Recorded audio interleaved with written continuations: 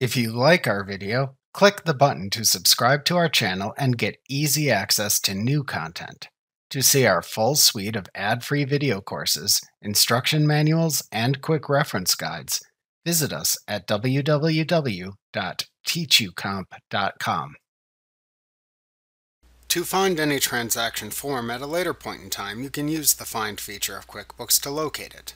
To find an invoice or any other type of transaction, simply open the associated form for which you want to search. Using the example of finding an invoice, you would open the Create Invoices window. Then select Edit, Find Form Type from the menu bar to open the Find Form Type window, where form type is the type of form that you're looking for. Note that you could also just click the Find button that appears within the Main tab within the ribbon at the top of the form to open this same window as well.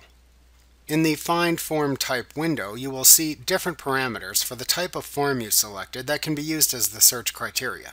Type what you are looking for into one of the available search parameter fields, and then click the Find button.